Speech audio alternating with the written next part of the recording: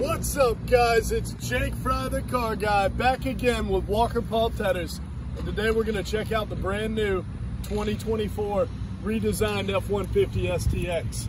Now, I love the new STX package on the F-150. It's a little bit different than previous years, and we're going to get right into it. Right at the front, you see the beautiful carbonized gray metallic color. Body matched throughout with that STX package. So the hood, the sides, the paneling matches, the bumpers, it all matches. It's a beautiful look.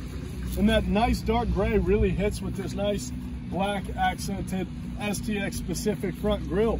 Remember one thing that we've seen brand new for the STX in 2024 that we've not seen, I believe ever before in previous years, is this really cool giant white accented Ford badge. We've seen the kind of mirrored, uh, kind of chrome accented badge before.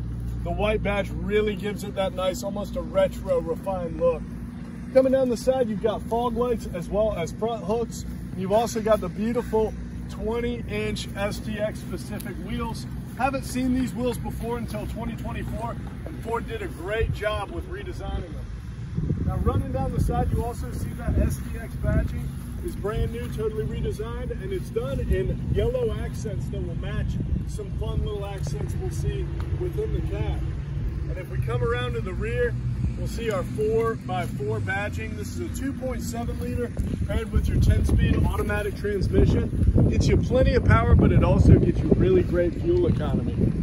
In your rear here, the STX, you're gonna see standard reverse sensors. So let you know um, how close you're getting to items behind you. You also have your standard backup camera and that really nice clean looking Ford badge redesigned for 2024. I'm gonna hop on in, get you a cold start on this 2.7 liter EcoBoost turbo motor. We'll see how she sounds.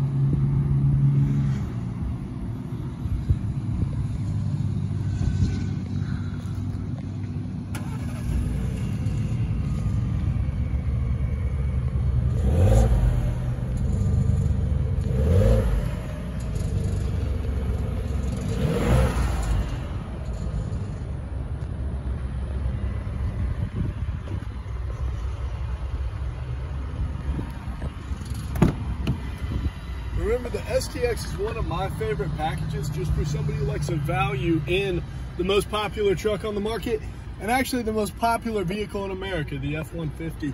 And what you see on this interior, it's been fully redesigned. So our seats are awesome, brand new sport cloth material with kind of a yellow accent uh, counter stitching or cross stitching there, which is really cool, matches that STX badging. And one big change for 2024 is the screen. So we've got our Sync 4 dual display screen here.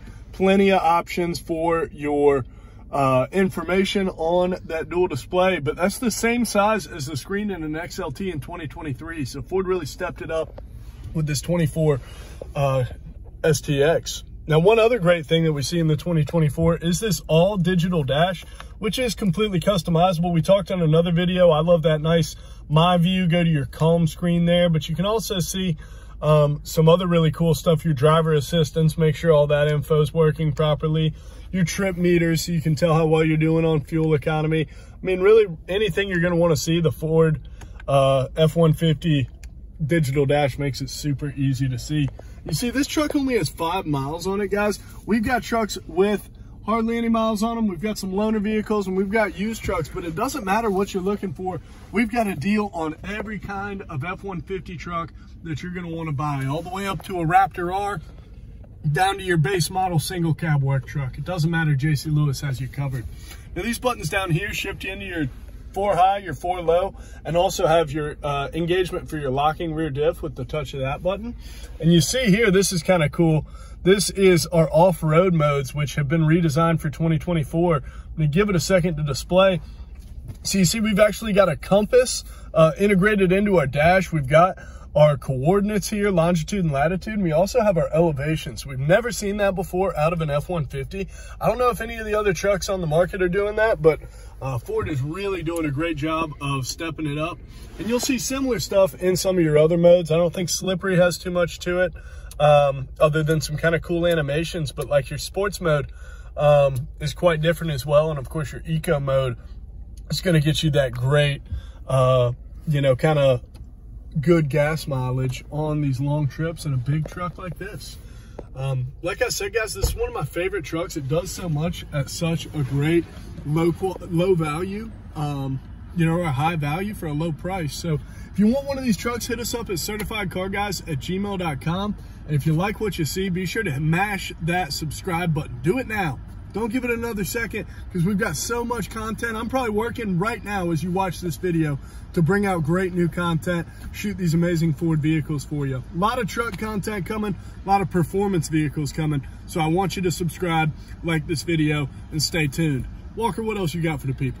Guys, this is the second F-150 video we're getting out to you today. Hopefully we're gonna get one or two more out to you guys but more uh, truck content, Super Duty, Ranger, more F-150. We got the Raptor stuff coming. But do not forget to like and subscribe. That's how you're going to keep up with us with the latest Ford content. We're bringing it straight to you.